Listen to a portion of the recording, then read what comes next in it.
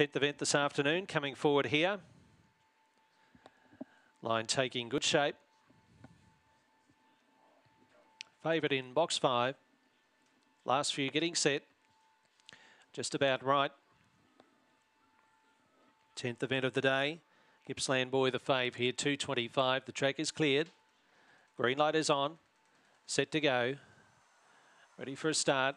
Racing two. Gippsland Boy began okay. Outside it, uh, Pocket Ruby, Magnetic Man showing pace, but Gippsland Boy works across. Zumbalina went through behind the leader. Further back burst the limit, also tear up past the halfway. And Gippsland Boy struck the front. Zumbalina trying hard, but will hold second spot. Beaten about three on the post. Third to tear up. Fourth goes to Pocket Ruby from Burst the Limit Magnetic Man in 1704.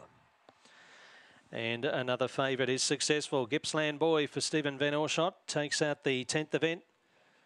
17.02, the run five is the winner. It's in the frame. Second is seven. Zumbalina. One will run third. That's Tear Up.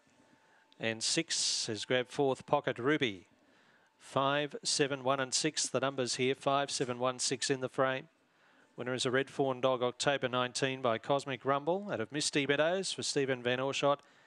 Win number two at start nine. Second, seven, Zumbalina.